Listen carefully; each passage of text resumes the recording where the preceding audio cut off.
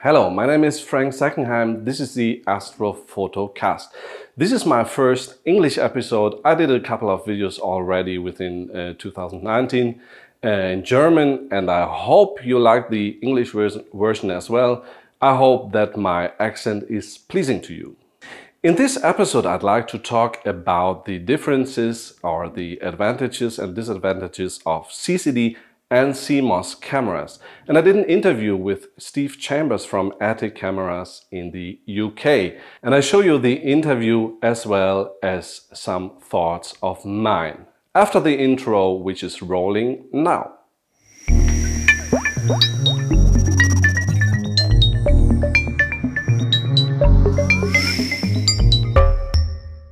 As I already mentioned in the intro of this video, I'd like to talk about CCD and CMOS technology. Therefore, I've asked Steve Chambers from Atik Cameras if he would like to do a Skype interview with me. We did this on Monday and uh, yeah, well, I would like to show you the whole interview, which takes about 30 minutes more or less. And after the interview, I will give you some of my personal thoughts about the CCD versus CMOS debate. Also, if you're considering to buy a new camera after the interview and after my personal thoughts at the end of the video, I will give you some advice which camera to buy for your telescope. And here is also a little interesting thing if you're living in uh, Europe uh, and you're probably um, buying your products by a telescope service in which is in Munich, then I can offer you a 5% discount. Every information about this you will find at the end of the video. So if you look into a camera, I think you can tell by just looking on the chip if it is a CCD or a CMOS sensor. So could you explain what are the main differences between those two technologies? Yeah, sure. Uh, if we start off, maybe the obvious differences from a from a user point of view. Okay. Is going to be uh, the cost for one thing. Okay. So the uh, CMOS sensors tend to be less expensive. Okay. And I guess the other thing they tend to have over, well, quite a couple of things. So they tend to have smaller pixels than most of the CCD cameras that we would tend to use. And the maybe the technical difference is that they are much quicker to download their images, and that's kind of where where the whole drive from CMOS really came from was for higher frame rates and quicker ways of getting the image out of a sensor. Okay. Where CCD has this real bottleneck where every pixel kind of gets read out one by one. Okay. Uh, the reason for that is, if I understood it uh, uh correctly, is that uh, CMOS sensors have a small amplifier on each pixel, right? Yeah, it's quite a complicated uh, system. Oh. The whole the whole CMOS uh, infrastructure. But yeah, the the CCD, yeah, there has one or maybe most four amplifiers per sensor, and using that, yeah, every single pixel effectively gets read out one by one. Uh, and then with the CMOS, you have a whole array of A to D converters actually on the chip itself and as you say, separate amplifiers on every pixel. Uh, so yeah, uh, it's, it's, a much more intensive in terms of uh, the the amount of circuitry on the top of a CMOS camera. So and the CCD is relatively much older technology and rather dumber. But then when it comes around to it, it depends a little bit on do we need some of the advantages where CMOS CMOS is really excelling. Okay, I see. So, um, from your point of view, uh, how come that the CMOS technology became so massive, uh, popular within, let's say, the last three years? If I look, for instance, at uh, a huge forum like Cloudy Nights or so, uh, I find a lot of topics about that technology, and uh, they're going back to, let's say, 2016. So it's really like the last three or four years that this technology got really popular in, in mm. amateur astrophotography. But in some ways, you could even trace it back. Well, you could trace it back quite a lot further than that. So I think before three years, we the digital SLR cameras tended to be mainly CMOS, so the transfer over from CCD cameras, CCD digital SLR cameras, to CMOS, I think happened I don't know maybe six years ago, something like that. Okay. So I think astrophotographers have been using CMOS for a while. It's kind of as that transfer went into yeah, obviously the likes of Canon and Nikon are going to get the new technology rather before some of uh, some of the manufacturers that serve the astrophotography market. Yeah. Uh, so yeah, uh, and then if we went back even further, the the technology that went into webcams, if we cast our mind all the way back to when we had CCD webcams, uh, that was something that kind of introduced me to a lot of astrophotography. So if we go back 10 years or so, we had the famous Philips webcams. Yes. They had CCDs in them, and we could use those for astrophotography. Uh, but then they basically went largely obsolete about 10 years ago as CMOS got introduced within the webcam. And it's, it's that it's those features that CMOS has uh, that's cost effective, high frame rates that are really appealing to most consumer devices. Uh, and so, yeah, webcams was an early example of where people wanted higher frame rates and lower cost devices. And then obviously, CMOS is the right technology to put into a webcam. Yeah. Uh, and and it's it does there has been improvements within CMOS where it could then get into other consumer devices such as digital SLRs, which did require quite a high quality image sensor. Yes. Uh, so yeah, so I think kind of it's I would yeah I would consider it to be going on for a bit more than three years. And yeah, it's a development of CMOS uh, improvements.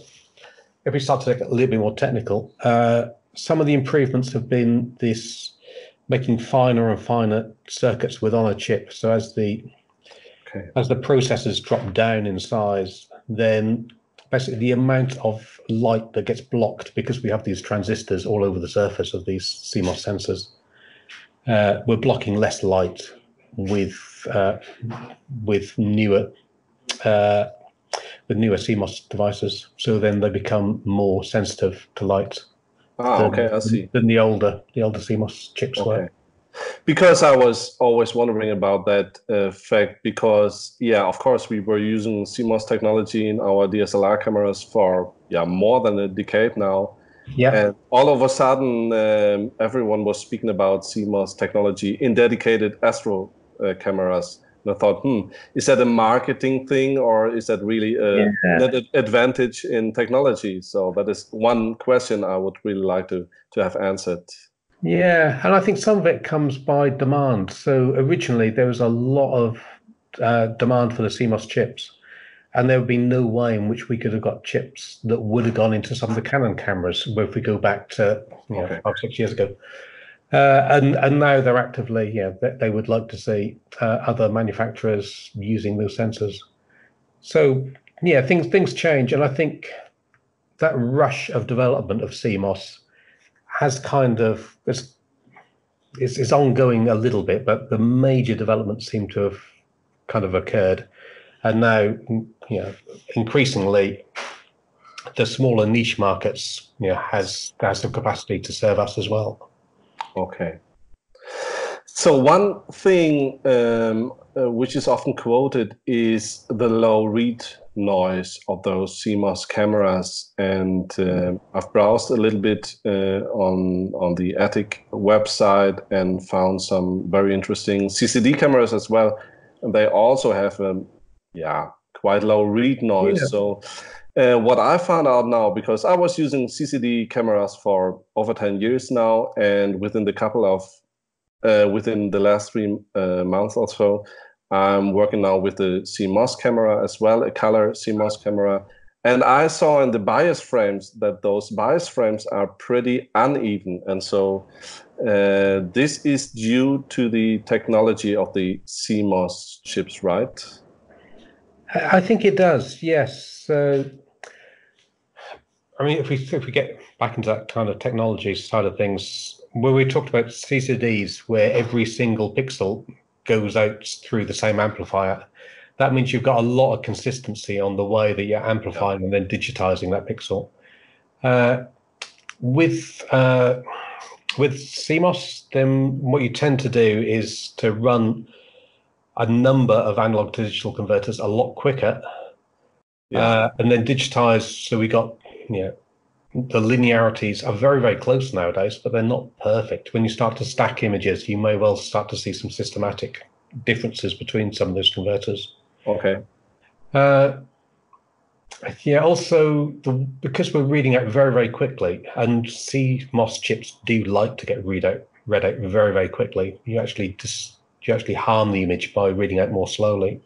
Yes. So they have to be read out very, very quickly. So there's capacitors that need to be reset to the same level each time you come to uh, digitize a row. We tend to digitize rows at a, a single time. So you've got you've got a really short period of time to charge up some capacitors. Uh, if they don't charge fully and equally every single time, you start to see differences between one row and another row. Okay. These will be inconsistent between one bias frame and another bias frame. So it's uh, yes, CMOS has got some challenges when used for astrophotography. It's not really its natural habitat. Okay. Uh, so some of the things we do tend to do the stacking of uh, of uh, image frames and bias frames tends to draw out any any signal that's lurking at the bottom of that image that isn't completely okay. consistent, anything that's not really random Gaussian noise starts to become apparent. And okay. yeah, CMOS, we don't really need the speed as well in yeah, less particularly deep sky astrophotography. So we get some of the negatives on CMOS without all without being able to utilize all the positives. So it's a bit of a there's it's a bit of a square peg in a round hole. Okay, is our phrase. Of, it's, it's a great, it's a technology okay. that's being hammered into a hole that's not perfect size, but they are very, they are very cost-effective ways of doing astro imaging. Yeah. Okay. So that yeah, it that your answer fits pretty much to my experience. So what because what I see now, I assume that uh, a lower read noise of let's say one or two electrons more or less you won't see in an image so especially if you're um, sky limited for instance but those uh, variations in the background i can see pretty much even after stacking all those images i did yeah that's just it's it's a curious i'm i'm i'm not sure i completely go along. Read noise is read noise, so you always want yeah. as low a read noise as possible. There's no reason to have a higher read noise. I see. Okay. Uh, but you have to. There's when we again we again technical again, but you tend to be imaging in one of what we call domains. One is either the image is read noise limited or it's yeah. shot noise limited. So shot noise is when you start talking about sky backgrounds. Yes. And really now, if you if you can tell a difference between the pixel values in a dark frame and the pixel values in you know a, a dark, dark piece of sky in your image, then you're probably actually in the shot noise domain. And in that case, it doesn't really matter too much what the read noise is. Yes. There's sorts of differences there where I have enjoyed using CMOS cameras uh, for deep sky is narrowband imaging at long focal lengths. And there you really spread out the sky background. There's not a lot of it now let through some of the narrowband filters anyway. Uh, and that's one of those examples where it's I think it's quite an interesting application to make use of that read noise. One more caveat on that one is that the read noise from CMOS, where they're really low, you tend to have to have the amplifiers turned up pretty much all the way on them to get a really low read noise which means the dynamic range or the full well depths are very, very small. Uh, and then once you're in that situation, then yeah, it's useful for narrowband imaging where you don't really care about star colors. Okay. Know where they are. But if you were doing normal RGB color imaging, read noise is very difficult to make full advantage of the low read noise that CMOS can offer you because it comes at the expense of dynamic range. I see. In one of your videos, I'm not sure if I got it right, but uh, you're saying something that if you compare CCD and CMOS, that it might be easier to to uh, to work with CCD images than with CMOS images because of yeah problems you you can can have with CMOS. Uh, yeah, I think you're right. I think you're right, and it's oh, it comes down to aesthetics in the end. So after you stretch an image and you okay. think that's about as far as I want to stretch it, because it starts to look not very very appealing. Now, if what's starting to appear is Gaussian random noise in the background, to be honest, that's more aesthetically pleasing, if you like, than if you see some structure, some lines, or some yes. some things that CMOS are more likely to be giving you. Yeah. So it might be a case of yeah, technically you may be able to stretch a CMOS image slightly further in terms of electrons per ADU, but the results tends to be less pleasant. So you probably would stretch a CMOS image less harshly than you would be prepared to stretch a CCD image. I see. So would you say, I mean, it's one of those sentences which is, um, yeah, I'm not sure if you would agree, but uh, would you say that CCD is still better than CMOS? I mean, that's it's a weird question, but. Yeah, uh, I would say it's, I'd, I'd come it the other way. So it's CMOS, the new technology. If you're doing planetary imaging, I think CMOS is the way to go, undoubtedly. Uh, and if you're on a budget where, yeah, they, they are very, very affordable. Uh, so again, CMOS has some great application there. But just generally, uh, yeah, CCD, if we're talking about traditional deep sky imaging, CCD absolutely the right to go, and it's much easier to select a pixel size that matches a reasonable normal telescope uh, we have all those advantages of binning that we can use as well okay. to make advantage of our LRGB type imaging. So yeah, for amateur astronomy, after I used to think after we get above maybe 1,500 euros spending on a camera, yeah. you probably is a good point to really consider properly CCD cameras. Okay. Um, I've heard from a friend who was at CEDIC that year yeah, yeah. Uh, that you did a, a, little speech on, on that task as well at CEDIC. Is that right? I wish I could remember what I talked about. Uh...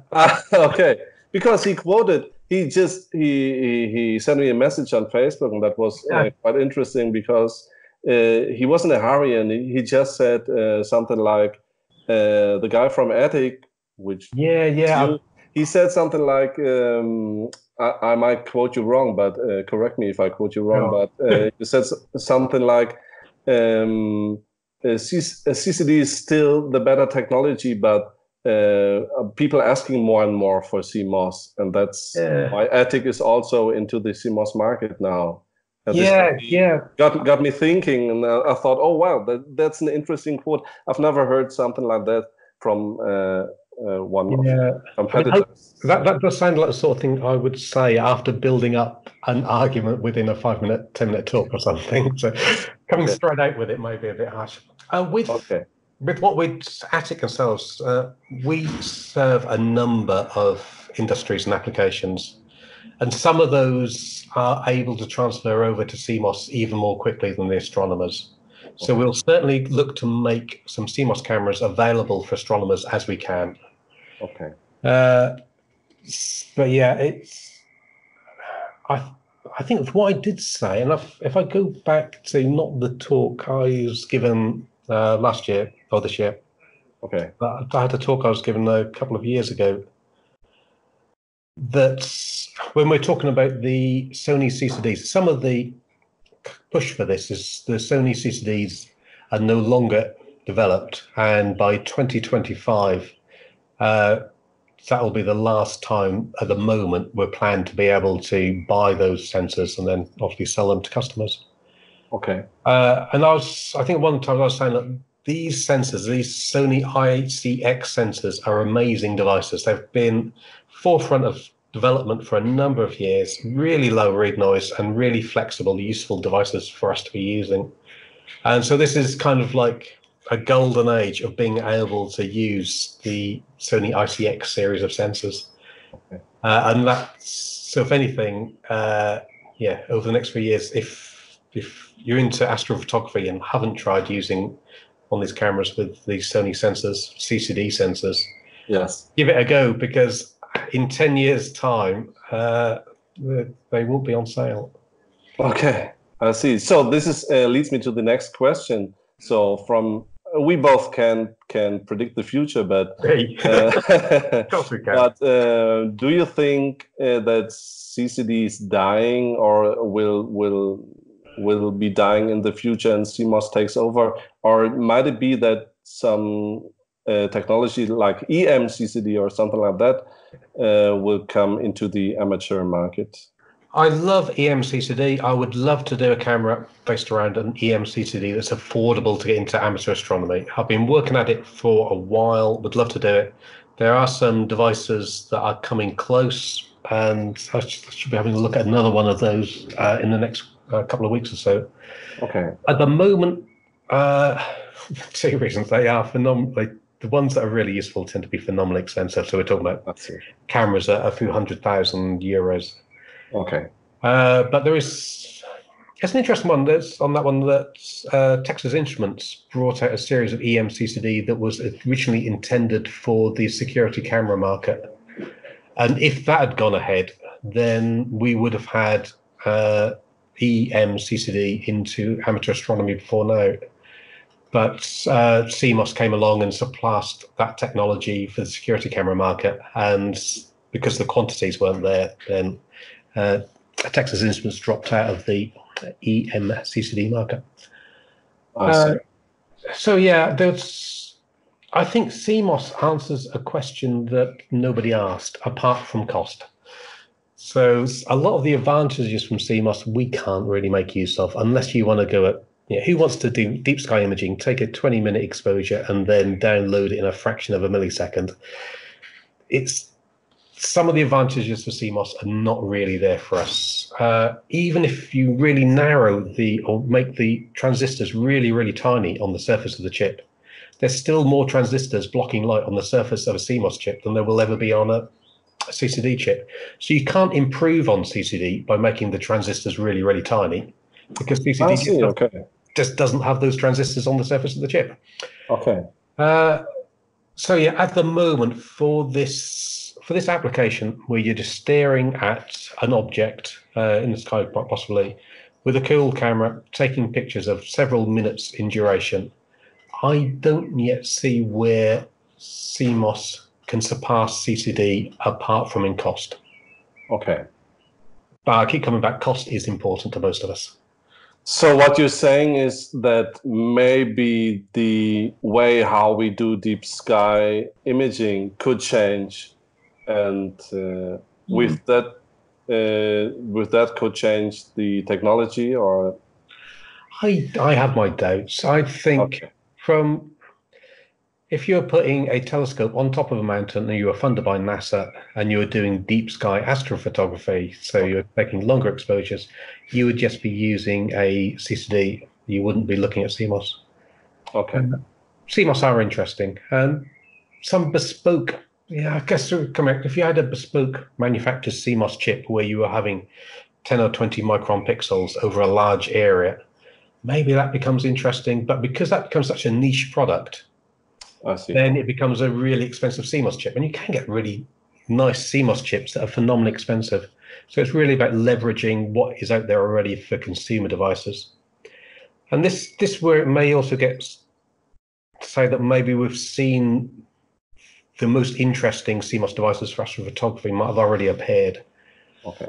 So, because there was this drive to put CMOS chips into things like digital SLRs, and at that time, they the first series had relatively large pixels, but now all the drive is for more and more megapixels for an area, and with smaller and smaller pixels. So again, the most recent uh, the most recent CMOS chips are coming out again are not as exciting to us as some of the older ones. So I've just heard that one of the CMOS chips that are is currently used in astrophotography quite a lot has gone obsolete, and the replacement really has got small pixel pitch. But maybe that's not going to be as good. I see. Okay. So you said it already. Uh, I just repeat it. So the cost is obviously one thing, a big point in this whole discussion, right? For pretty much everybody, I imagine, who's listening to this, cost may well be important. It's important, so yeah. Okay.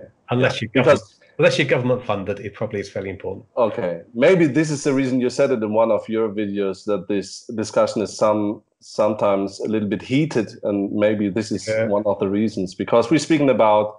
Uh, we can a little bit look into your portfolio of Atik cameras, and we're speaking uh, about a difference of yeah, a mm-hmm. couple of thousand euros between a CMOS and a CCD camera. So yeah, I found the, the Horizon cameras very in, interesting on the uh, on yeah. the one side, and those uh, Atik one six megapixel and nine me, uh, nine megapixel cameras very interesting. But there is, uh, yeah, uh, the the CCD cameras are. I think already, everybody everybody wants to feel that they can get something for nothing or something cheap. Yeah, and then there is there is like emotional investment in trying to prove that it's as good as something that costs a lot more. And i think that's where some of the heat has got into this argument where yeah, let's let's chill out. We've got this two slightly different things. One is less expensive and one possibly is slightly more applicable to the application though more expensive.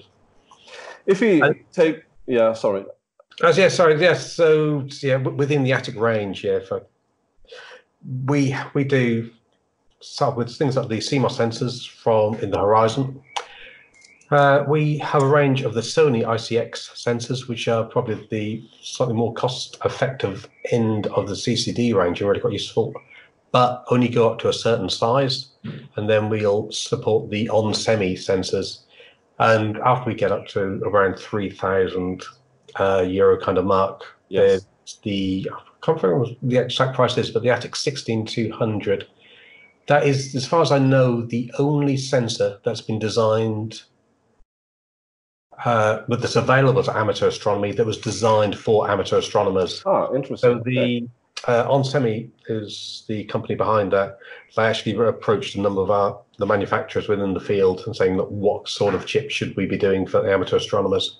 so if you want an actual device that was designed for amateur astronomy, actually the only one I know of is the uh, 6KAF 16200. I own one. I have to say it's not an epic one, but uh, I do have a camera. Yeah, we have a winner. okay, yeah, okay.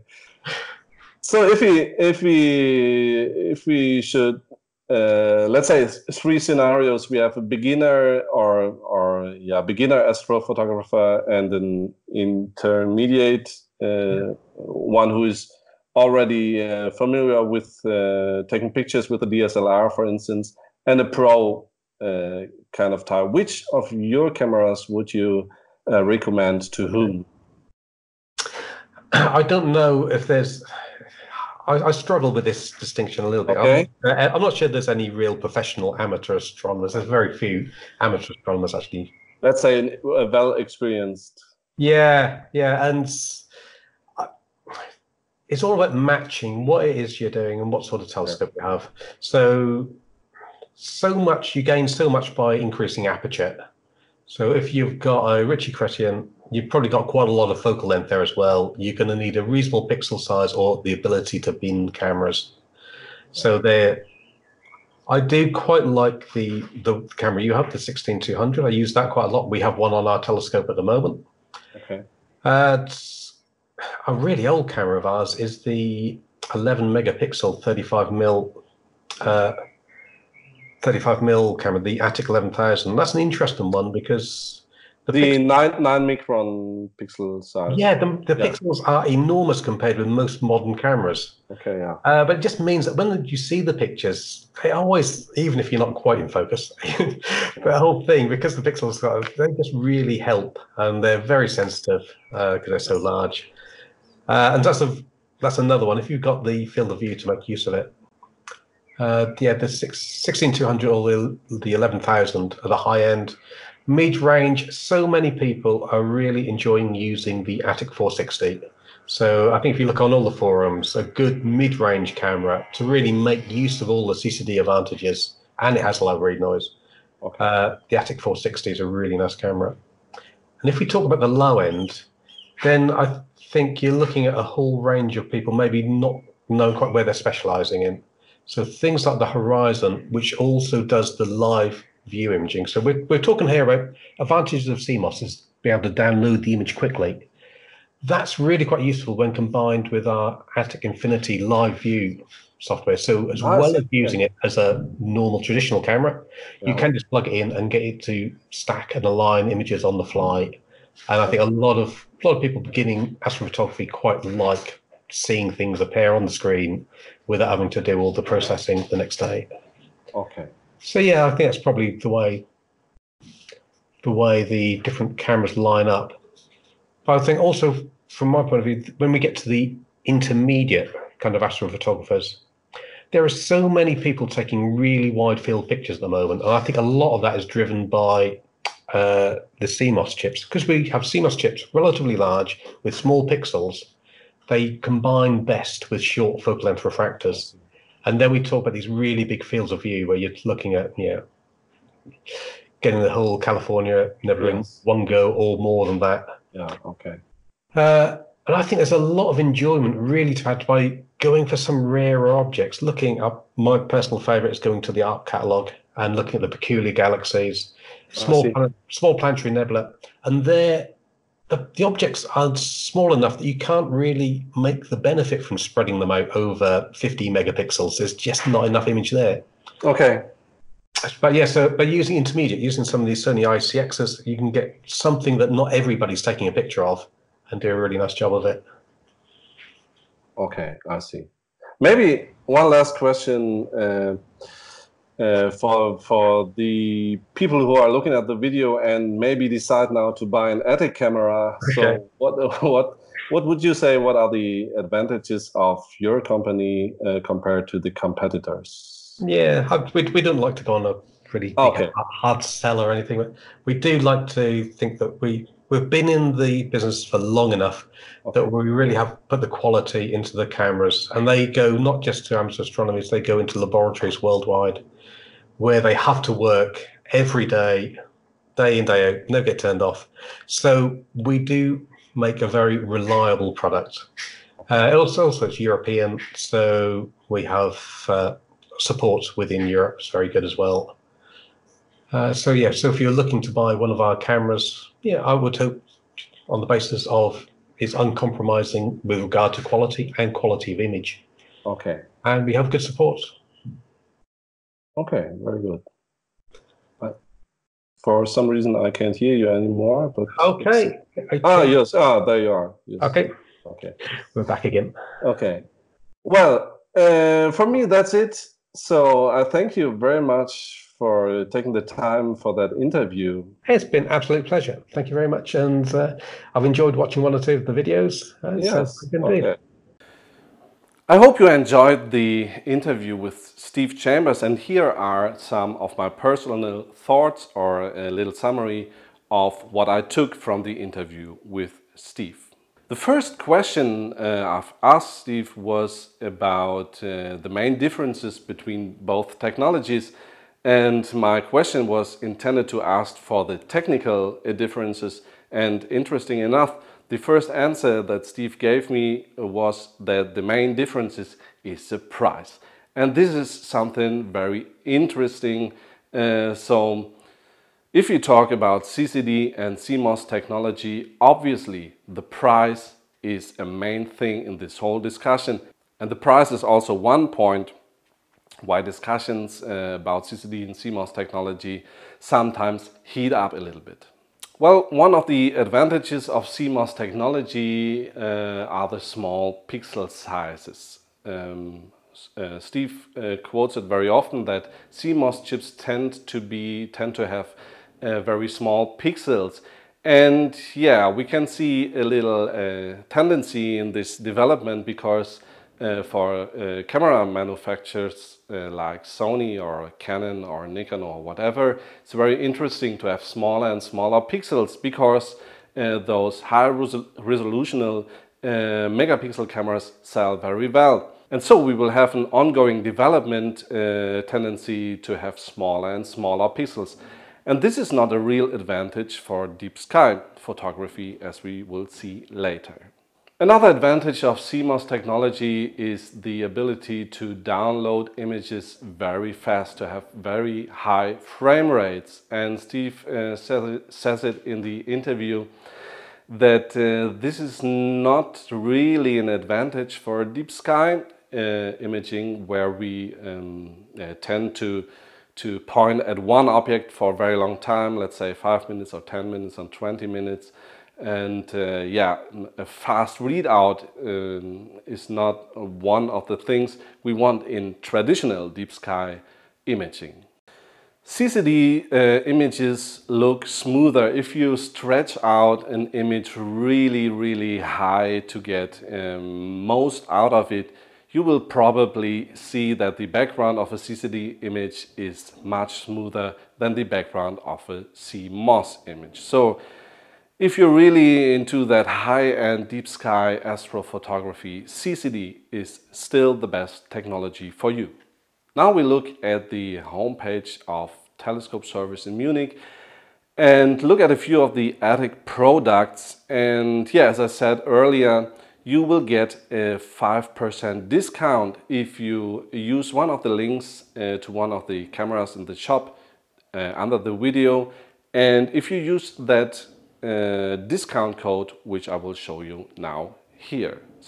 So let's dive in and see what Atik is offering us. Okay, this is the website of Telescope Service in Germany and Telescope Service is uh, selling all over Europe. So if you consider to buy one of those Atik CCD cameras, you can do it via Telescope Express and with the um, code that I gave you, you can get a 5% discount on the products that I show you and that are linked below the video. So this is the website. Choose your appropriate language and choose Atik cameras from that menu here. When you scroll down, you will find, first of all, the Atik Horizon, which comes in two versions. The monochrome and color version. Let's have a look at the monochrome version. This is the uh, by now only CMOS uh, camera which Atik is offering. And it's using the very popular Panasonic 16 megapixel 4 third chip um, sensor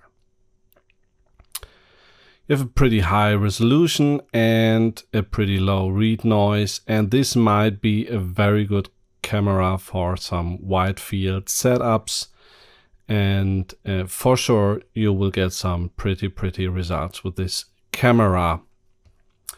But if you're looking for a little bit more image qual quality then you might have a look on the dedicated CCD cameras and Steve was talking about the 460, which is here. It also comes in the uh, color version and the monochrome version. This is a CCD sensor, the Sony ICX694 with uh, 6 megapixels and small pixels of 4.5 micron.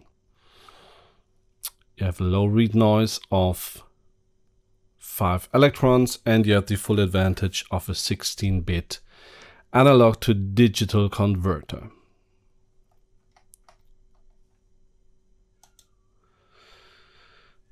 There is also the Atik 1 series and the Atik 1 6 megapixels is using the same uh, sensor, the Sony ICX694, but it's using an internal filter wheel.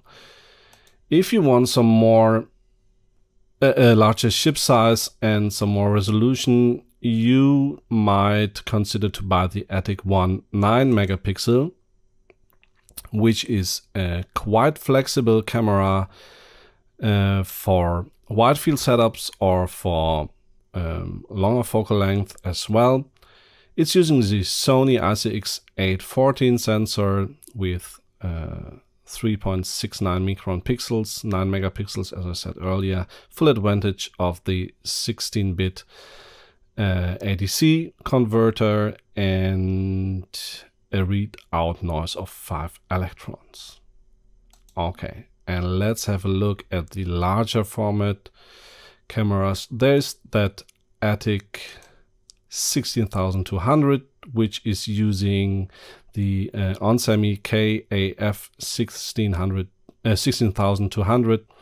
It's a 35 mil chip and you have 6 microns pixels, a resolution of 5400 by 3600 pixels, a high quantum efficiency, full advantage of the uh, 16